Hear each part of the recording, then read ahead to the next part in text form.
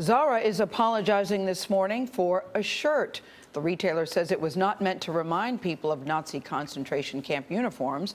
It's been pulled from Zara's inventory. Still, some wonder how such a stylish brand could make such a huge fashion faux pas.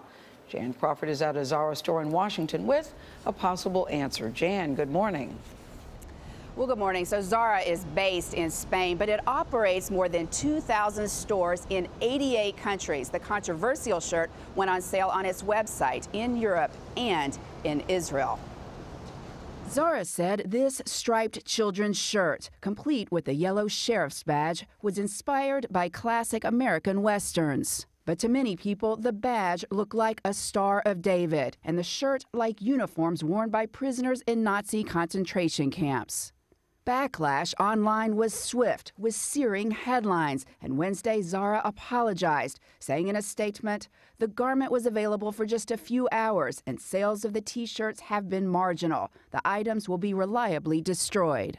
Although Zara did tell one website the shirts would be, quote, exterminated, Abbey Klaassen of Advertising Age said the company, by and large, took the right steps. Zara responded quickly, which of course is probably the number one most important thing they could do. Responded quickly with an apology. They apologized in several different languages. But it's been a rough summer for the retailer. Earlier this month, it was accused of racism after these photos surfaced of another one of its shirts, bearing the slogan, White is the New Black.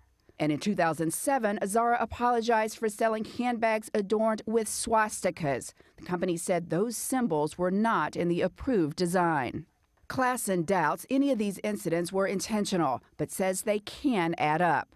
It certainly doesn't help them that every time something like this comes out, it, it you know drums up the memory of the last time they were in hot water.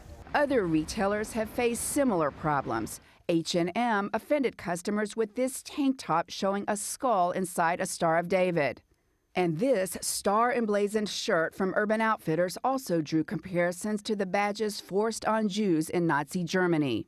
Like Zara, these companies are known as fast fashion retailers, able to take merchandise from the designer's table to store shelves all over the world in a short amount of time.